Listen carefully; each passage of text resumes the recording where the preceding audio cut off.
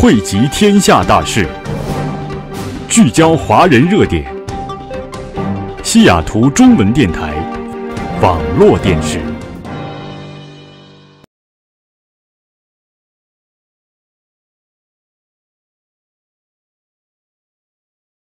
是能够呃排除万难来提提早的时间，或者是增加我们的呃广播的时间。那么接下来如果说要继续的请按照年纪来请嘉宾致辞的话，我就要请台长去请，我不要自己去请，免得得罪人。呃，感激他呃努力的主持这个这个项目，这个 radio station to get the word out to a lot of people。呃，新移民过来的，而且是这里住了很多年的啊，老华侨，他们对于社会不怎么太了解，或者是没有这种机会在一起团结起来，一起出生，一起大家呃了解互相的困难或者是机会。So 在西雅图地区啊、有六年，这是七年的时间啊、我们讲老华侨 是很啊、向往的一种啊、这个向往。老师，我的普我的普通话老师在的，所以广东普通话讲的不对，他就跟我要改一下啊、也就是因为有中文电台，我的普通话也改良了不少嘛。嗯，很重要的一个联络方式方式，不管是在我们在这个这个地区的政治、教育和生活方面都起了不可低估的作用。实际上就是把华人的影响扩大，而且呢起了很好的华人之间的联联谊感情，呃，信息交通起了很大的作用。在这个地区办这么一个电台，实际上很不容易。我知道各位同仁，他口才太好了，他讲的就是我的心声，然后我就跟他，他的每一句话我都跟他共鸣啊，所以我今天啊、就祝大家平安喜乐，有一个美丽愉快的夜晚。后面加两个字就是雅秋老师。啊，今天的全体大会呢，我们主题其实是六个字啊。首先是感恩，第二是回顾，第三是展望。那感恩呢是感谢在座的各位，呃，所有的同事，所有的顾问，嗯、感谢你们的辛勤付出。呃，晨晨帮我翻一下页。哦，是不是分多了？没关系，翻下去吧。哦，这个。这一翻啊，那么有有有很多呢，就是大家可能都知道，所以呢，我们呃可以讲快一点啊。比如说我们中央电台，呃，成立于二零一二年五月开是吧？非非固定地产啊，那个。那么目前我们董事会成员呢是包括我、雅秋老师和叶林希。然后呢，我们其实呃有也有我们的顾问左老师的功劳啊，他也参与了一些工作。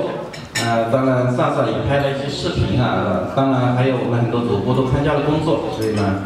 啊、这是我们的一个比较受关注的活动。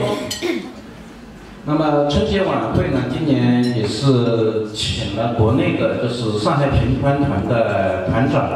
啊、也是国家一级演员，还有另外另外一名是国家二级演员，然后还请了一位歌唱家是从中国来的。那么，嗯、恭逢盛世啊，就是碰到了百年不遇的大雪，所以呢，我们就我们中文电台春晚经经常跟大事件合在一起啊，就是我们的第一届春晚。嗯，好。啊，那么今年呢，就是有很多人很受关注，就是去了南部白宫。那么其实就差几天，有一另一个女的华人去南部白宫被抓起来了，就是。那我们是有正式邀请，她没有正式邀请，这是差别。那么今年呢去参加了江苏发展大会，那么就是左边这张照片是跟香港的前政务司长唐英年，右边照片是跟苏州市委书记周乃祥这个啊。说有的社团他们演话剧，但是主力都是我们电台的，所以呢这也是我们的软实力啊。那这个是我们电台不少主持人在呃社区一些重大活动都在主持啊，这是代表了我们中文电台的形象。好，那么还有一些呢，我们其实呃很多人问，就是我们下午中文电台有没有在做广告？我说没做广告，我们基本上是新闻立台，我们的新闻出去了，那么我们中文电台也出去了，所以有些重大活动呢，都是从我们这个口出去的。